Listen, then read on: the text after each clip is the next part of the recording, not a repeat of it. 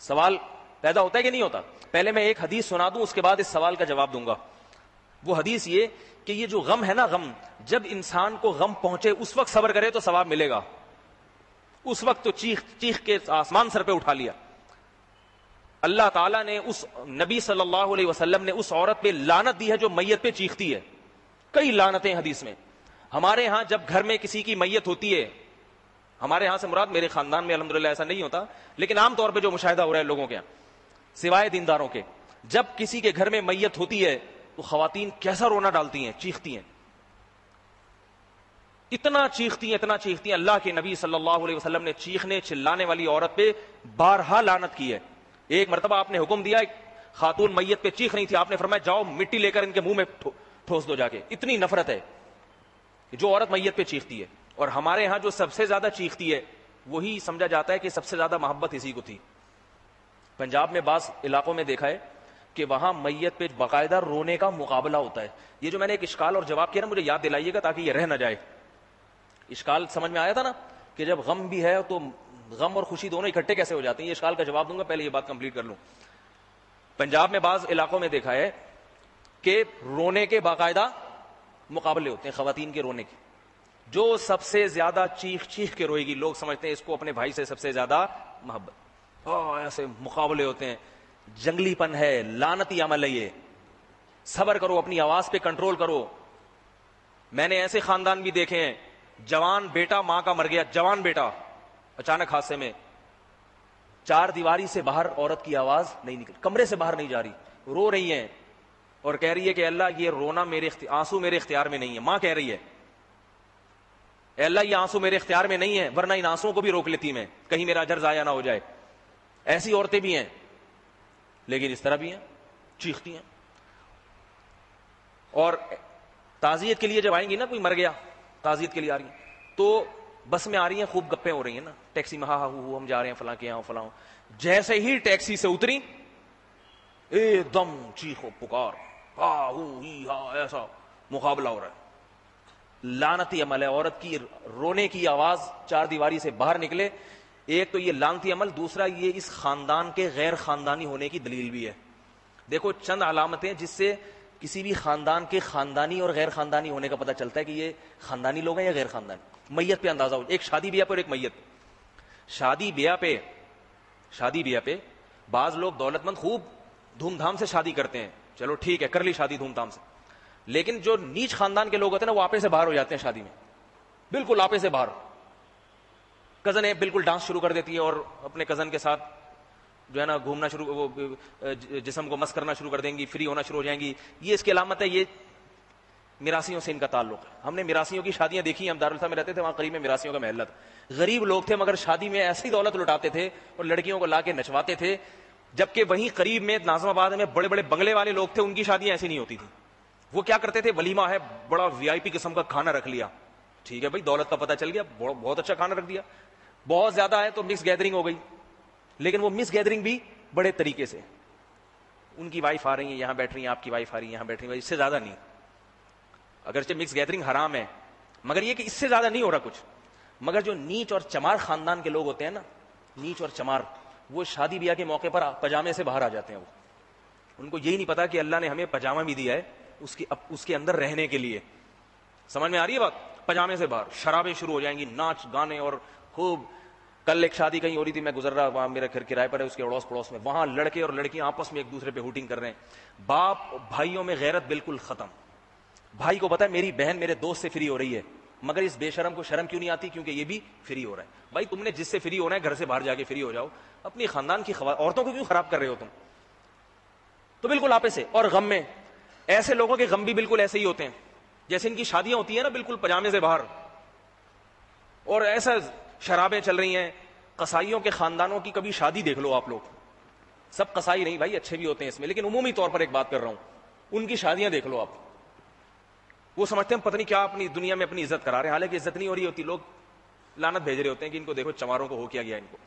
تو اس کے برعکس اچھا موت ہوتی ہے تو ان کی میت بھی ایسے ہی ہوتی ہے۔ جب میت ہوگی چیخو پکار بھی ایسے ہی۔ وہاں سے آ رہے ہیں، گلی کے نکڑ سے روتے ہوئے۔ ہا ہی ہا ہا، روتے ہوئے آ رہے ہیں۔ میرے والد صاحب کا انتقال ہوا تقریباً نائنٹی سیون میں۔ تو تو ہمارے بعض پنجاب سے رشتے دار بھی ہے ہمارے جب والد صاحب کا انتقال ہوا تو گھر میں ہم ایک دم اچانک انتقال ہو گیا تھا۔ اور والد صاحب سے محبت ہی بہت تھے کیونکہ بڑے متحرک تھے، گھر میں چلتے پھرتے۔ بہت خوبصورت تھے ہمارے والد صاحب۔ بڑی خوبصورت آواز اور بڑا یعنی ان میں بڑھاپے کا نام و نشان نہیں تھا۔ اور بڑے ہسمکھ تھے، خوش مزاج تھے۔ ایسا باپ اگر ہو، جو خوش مزاج بھی ہو ہسمکھ بھی ہو، یہ میں جو بیانات میں لطیفے سناتا ہوں، زیادہ تر میں نے اپنے والد صاحب سے ہی سنے ہوئے ہیں۔ ایسے خوش مزاج تھے۔ تو اچانک انتقال ہو جائے اور نماز کے انتظار میں بیٹھے ہوئے تھے، اچانک گر گئے۔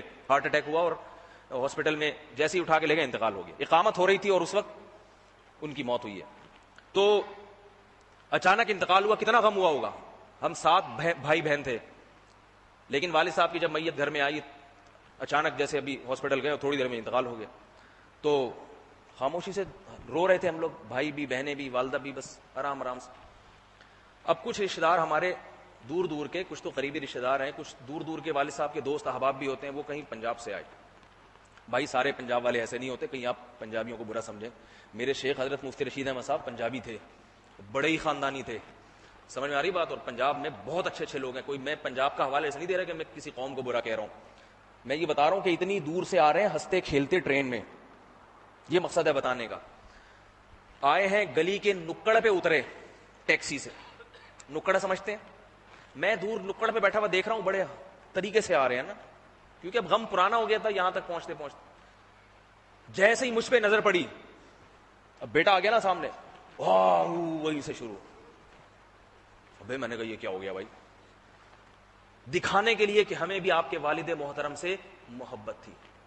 یہ بتانے کی کیا ضرورت ہے؟ یہ کچھ طریقہ ہے بتانے کا؟ اب آئے او ہاں ایسے گلے مجھ سے ملے نا، وہ ایک دور کے دوست لگتے ہیں رشتے دار بھی نہیں، ایسا بھیچا انہوں نے مجھے میں نہیں رو رہا۔ مجھے تو ہلکے ہلکے آنسو آ رہے اب مجھے شرم بھی آ رہی ہے کہ بولیں گے، مدعی سس گواہ چس جس کے لیے رو رہا ہوں، وہ چپ ہے اور میں اس سے بھی زیادہ۔ تو ہو ہاں جب انہوں نے دیکھا نا، اس پہ تو کوئی اثر ہی نہیں ہو رہا۔ تو پھر وہ ایک دم ان کی بریک لگی۔ میں نے کہا، آپ اندر جائیں، تشریف لے۔ اچھا پھر وہ ایک خاتون آئی یہ کیا انہوں نے ماشاء اللہ بہن بجایا اور کہنے ہائے، اتنے چھوٹے چھوٹے بچے یتیم کر گئے۔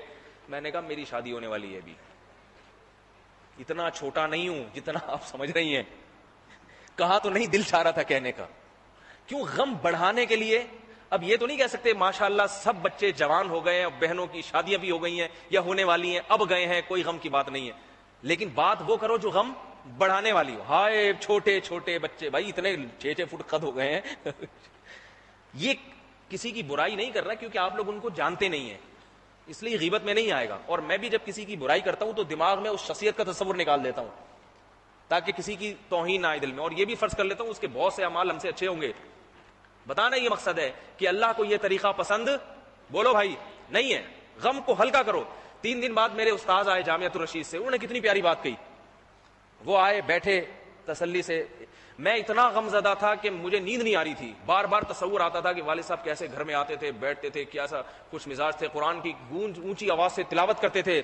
پورے گھر میں تلاوت کی آواز گونجتی تھی جب ان کی تحجد پڑھتے تھے۔ ایک رونق تھی گھر میں۔ تو میرے استاد آئے، مفتی محمد صاحب، جو ابھی بھی جامعت الرشید میں بڑے مفتی ہیں، وہ تشریف لائے آیات تعزیت کے لیے۔ انہوں نے دو جملے کہے اور مجھے تسلی ہو گئی۔ انہوں نے کہا، دیکھو، اب نہیں جاتے تو بعد میں جانا تو تھا۔ اب اگر موت نہیں ہوتی تو بعد میں مرنا تو تھا۔ ابھی صحت مند تھے۔ اگر خدا نہ خواستہ کوئی بیماری آ جاتی لقوا ہو جاتا، فالج ہو جاتا، کیسی کیسی بیماریاں قومے میں چلے جاتے ہیں لوگ۔ دس دس سال باپ کی خدمت کرنی پڑتی ہے۔ اس وقت اگر آپ باپ کی خدمت سے آجز آ جاتے اور پھر والد کی موت ہوتی تو آپ کو بھی زندگی بھر غم رہتا کہ باپ کو خدمت کی ضرورت تھی مگر ہم خدمت نہیں کر سکے۔ اللہ نے اس آزمائش سے بچا لیا۔ آزمائش سے بچا لیا۔ ایک بات۔ دوسری بات انہوں نے یہ کہی کہ ابھی یہ آپ سے خوش تھے۔ بیٹوں سے بیٹیوں سے کوئی شکایت نہیں تھی، خوش تھے۔ خدا نہ خواستہ بعد میں کوئی باپ بیٹوں میں ہو جاتا ہے، شیطان کرا دیتا ہے۔ کوئی ایسا جھگڑا، کوئی ایسی ناراضی ہوتی اور اسی ناراضی میں دنیا سے چلے جاتے۔ ساری زندگی کا غم اولاد کو لگتا کہ نہیں لگتا؟ ہے بھائی؟ ابھی خوش تھے۔ تیسری بات، ابھی ایمان اور امال صالحہ پر تھے۔ نماز کے انتظار میں ایمان پر۔ اگر خدا نہ خواستہ زندہ رہتے، اللہ نہ کرے، اللہ نہ کرے۔ حدیث میں آتا ہے، ایسا زمانہ ہے کہ صبح انسان مومن ہوگا، شام کو کافر۔ شام کو مومن، صبح کو کافر۔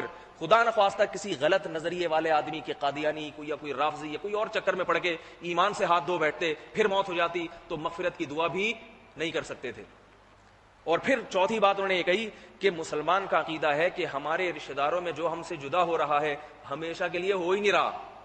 اس لیے کہ ہم بھی مر کے برزخ میں ملاقات کریں گے۔ صحابہ کرام موت کے بعد کیوں خوش ہوتے تھے؟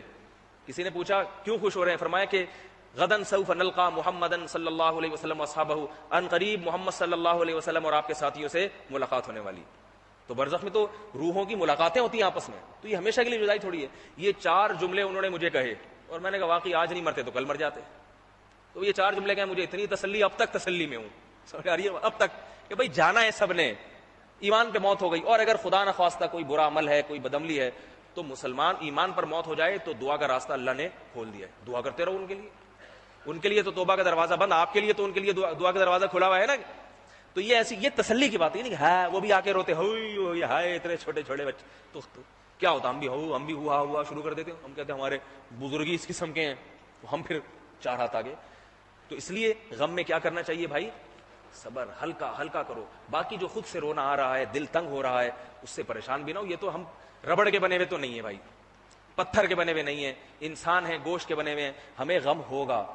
تو اس لیے کسی اللہ والے کو غم پہ روتا ہوا دیکھو تو اس سے بدگمان نہ ہوا کرو کہ اس میں دین ہی نہیں ہے۔ کسی کے بچے کا انتقال ہو گیا، وہ بزرگ رو رہے ہیں، تو یہ کیا بات ہے؟ یہ تو رو رہے ہیں۔ کوئی بات نہیں بھائی، انسان ہے، محبت کی علامت ہے۔ اللہ کے نبی کے بیٹے کا انتقال ہوا، آپ کی آنکھوں سے آنسو زاری رو رہے ہیں۔ کسی نے صحابہ نے پوچھا، یا رسول اللہ، یہ کیا ہے؟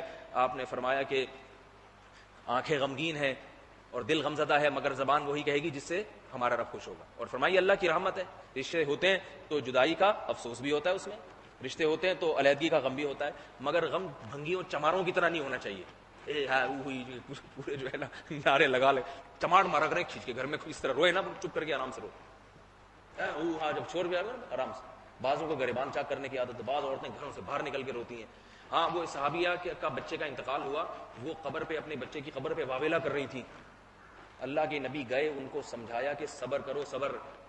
صبر کرو۔ حدیث میں آتا ہے، جس عورت کے بچے کا انتقال ہو جائے نا، وہ صبر کرے، تو اس کے لیے جنت کی ضمانت ہے۔ بچے سفارش کریں گے قیامت کے دن۔ کتنی بڑی خوشخبری دے دی۔ تو آپ صلی اللہ علیہ وسلم نے فرمایا، صبر کرو۔ ان کو پتہ نہیں تھا کہ یہ نبی صلی اللہ علیہ وسلم ہے وہ اپنی قبر بھی مشغول۔ اس نے توجہ نہیں دی، اس نے کہا کہ اصل میں آپ کو وہ مصیبت نہیں پہنچی جو مجھے پہنچی ہے۔ آپ کو وہ مصیبت نہیں پہنچی جو مجھے پہنچی۔ اگر جو مجھے پہنچی وہ آپ کو پہنچی تو پھر یہ نصیحت نہیں کرتے۔ اور یہ عورت، یہ بات کہہ کے گھر چلی گئی۔ وہ خوب واویلا کر کے نا ہاں وہ خبر پہ رو رہی ہے۔ جب گئی ہے تو کسی نے اس عورت کو بتایا، محمد صلی اللہ علیہ وسلم تھے۔ وہ بیچاری غمزدہ ہوئی کہ یہ کیا ہو گیا۔ پھر کچھ وقت کے بعد آپ صلی اللہ علیہ وسلم کی خدمت میں آئی، عرض کیا، یا رسول اللہ، میں اب صبر کروں گی۔ آپ نے فرمایا، انما صبر عند الصدمۃ الاولى صبر کا موقع اس وقت ہے جب صدمہ پہنچے۔ بعد میں تو صبر آ ہی جاتا ہے۔ جیسے وہ ایک بڑھیا تھی نا، ایک وہ اشرفیوں کی تھیلی لے کے چلتی ہوئی جا رہی تھی، ایک چور آیا، لے کے بھاگ گیا۔ اب یہ بڑھیا اس کے پیچھے پیچھے۔ بڑھیا بیچاری کہاں بھاگ سکتی تھی؟ جب مایوس ہو گئی، کہتی ہے، چل میں نے تجھے صدقہ کر دیا اللہ کے لیے۔ اب تو صدقہ ہی کرنا تھا۔ تو خواتین، اب بچے کی موت ہو گئی۔ اللہ نہ کرے کسی عورت کا بچہ مرے۔ بڑا غم ہوتا ہے۔ اللہ سب کی خواتین کے، ہم سب کی اولادوں کو زندگی دے اللہ تعالیٰ۔ برکت دے زندگی زندگی میں برکت دے اللہ تعالیٰ۔ سب کو صحت مند رکھے، سب سے دین کی خدمت لے۔ تو اللہ نہ کرے، لیکن اگر غم ہو گیا تو بعد میں تو بہرحال صبر آ ہی جاتا ہے بھائی۔ اصل میں اس وقت کا، اس وقت کی آزمائش ہے، اس وقت صبر کرنا چاہیے۔